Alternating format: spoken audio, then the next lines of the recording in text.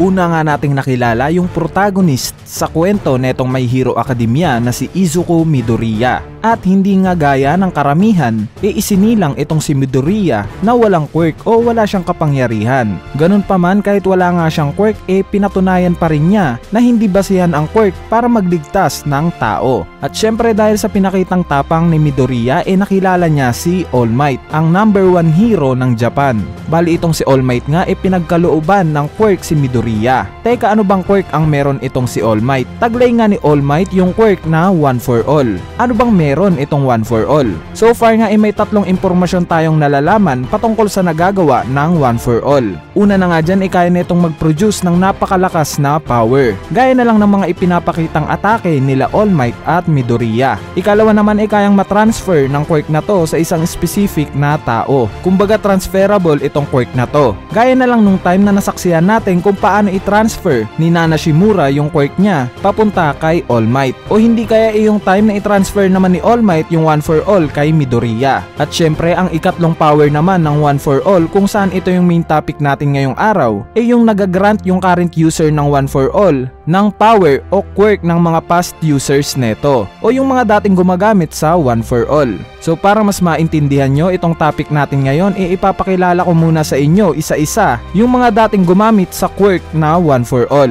Wait, take note lang guys ah. Up to this date nga, eh may siyam na nga daw na nakagamit ng One for All. Bali unahin na natin yung current user neto. Ang current user nga ng One for All ay si Izuku Midoriya. So far nga sa series netong My Hero Academia, eh siya pa lang yung nakikita nating nakapag-manifest o nakapagpakita ng ikatlong power ng One for All. Which is kaya niyang magamit yung quirk ng mga previous users ng One for All.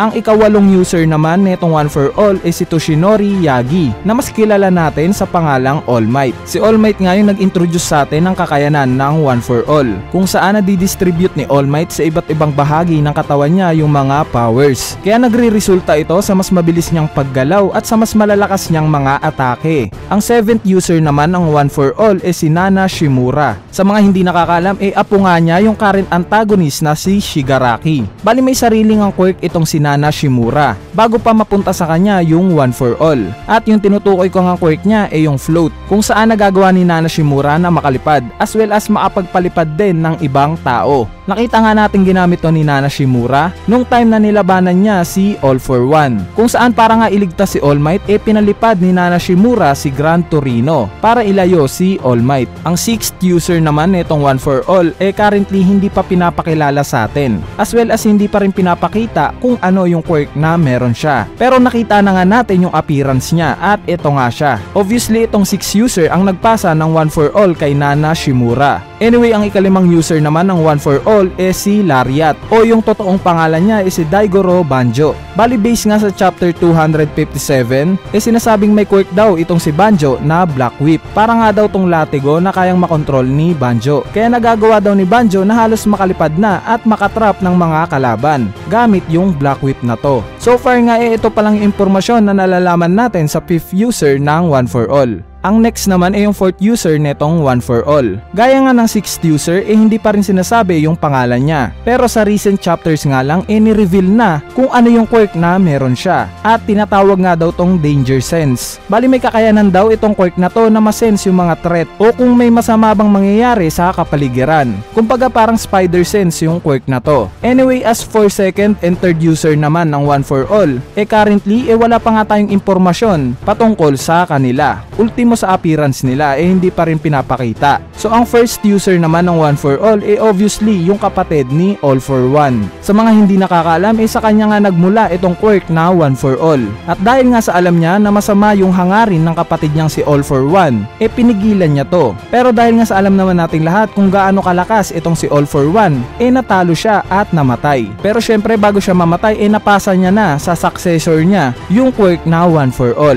Pinasa nga niya to dahil iniisip niya yung kapakanan ng mga tao sa hinaharap. Kumbaga ang nakikita lang ng kapatid ni All for One na makakapigil sa kasamaan ng kapatid niya ay yung quirk na One for All. Bali ngayong tapos na nga nating ma-breakdown yung bawat nagdaang users ng One for All e pag-usapan naman natin yung quirk na currently e taglay ni Midoriya. So far nga sa kwento ng My Hero Academia e currently e meron ng apat na quirk si Midoriya. Una na nga dyan e syempre yung kakayanan mismo ng One for All kung saan nabibigyan si Midoriya neto ng kakaibang strength physically. Ay kalawa naman ay yung quirk ni Nana Shimura. During chapter 283 nga inasaksihan nating lahat kung paano wasakin ni Shigaraki yung battlefield na pinaglalabanan nila ni Midoriya. At during that time nga ay mahuhulog na sana yung lahat ng heroes. Buti na nga lang ay nagamit ni Midoriya yung quirk ni Nana Shimura. So nung nagamit nga yun ni Midoriya ay biglang naalala ni Gran Torino si Nana Shimura. Syempre dahil matagal nga rin silang nagsama nun. Anyway ang sunod na quirk naman na natutunan ni Midoriya ay yung Black Whip. During chapter 211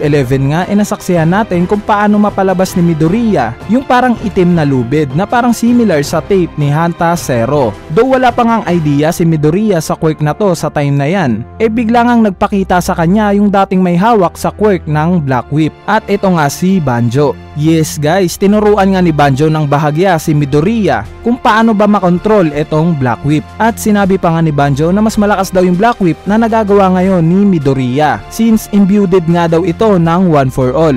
Bali ang huling quirk naman na currently taglay ni Midoriya ay yung Danger Sense na dating quirk ng fourth user ng One for All. Gaya nga ng sinabi ko kanina ay kaya nga ng quirk na to na masense kung may mangyayari bang masama sa paligid.